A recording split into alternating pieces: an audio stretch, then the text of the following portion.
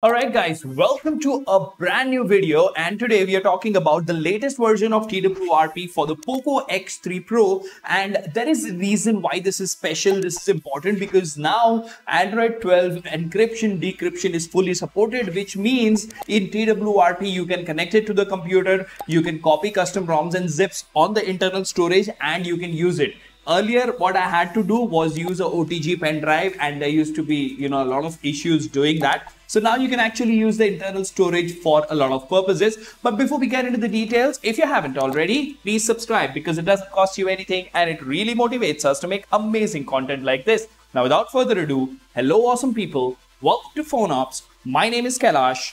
Let's get going.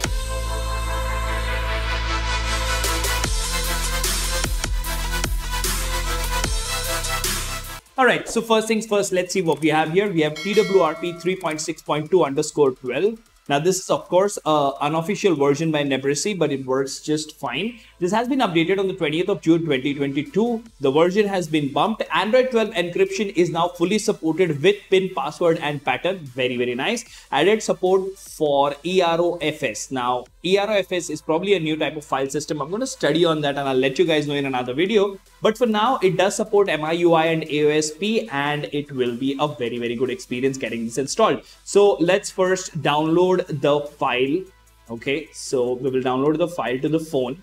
I have also downloaded it to the PC so that I can show you how to install it using PC if you're doing it for the first time. And I will also show you how to install it using the built-in TWRP that you have with your custom ROM or whatever. The download speed is really, really slow and that's a little weird.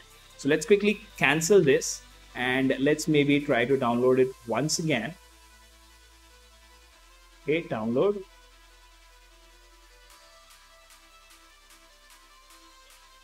Okay, there you go. The speed is back up and running. Now I'll quickly tell you what all you need. First of all, you of course need a POCO X3 Pro which has an unlock bootloader and on your computer's end, you will need platform tools. It's a very very simple uh, you know folder which you can extract and keep it on your pc wherever you like. The link for the same is mentioned in the description right? You need to have your fastboot drivers for your poco x3 pro installed. Now i'm pretty sure you would already have it. Otherwise you will not be able to unlock your device's bootloader because for that you need fastboot access as well now, once you've taken care of all these things, I do highly recommend you to make sure that all the data on your phone is backed up because ideally flashing TWRP should not land you in some trouble, but it's always a good practice to back up all your data just in case things go wrong. Now, as we can see over here, the TWRP is downloaded. So what I'm going to do here, I'm on CRDroid 8.6. So I'm going to go restart and we'll go to recovery. First, I'll show you how to, you know, update the recovery from any custom recovery itself. It's a very, very simple and straightforward process.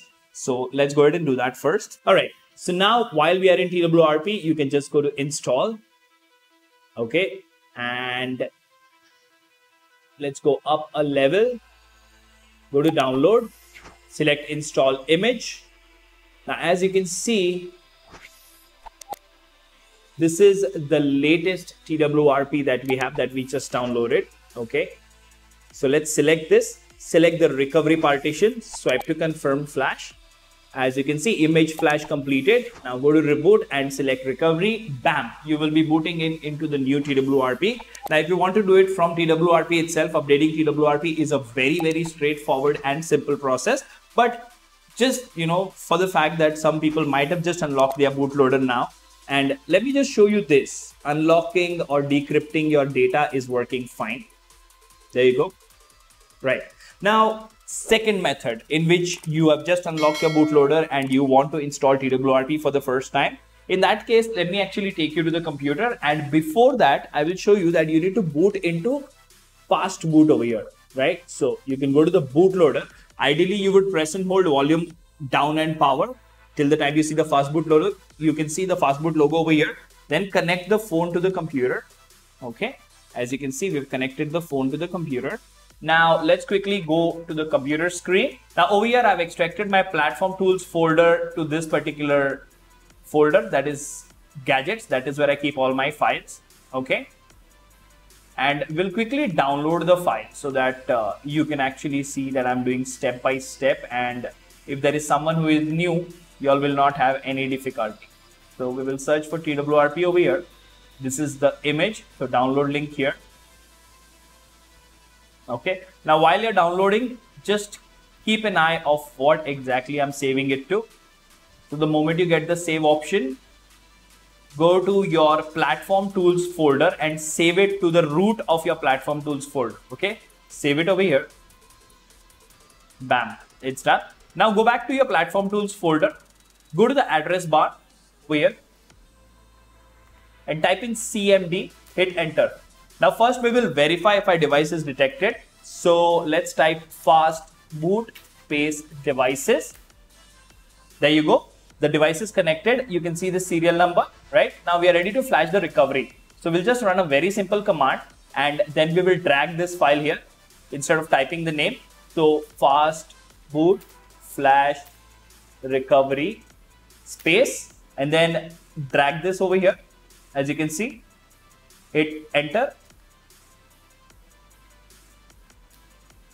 Says sending recovery writing recovery finished. Okay. Now on your phone what you need to do is press and hold volume up and power till that time you see the poco logo.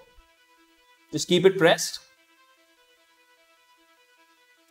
Okay as you can see you have the poco logo you can disconnect the cable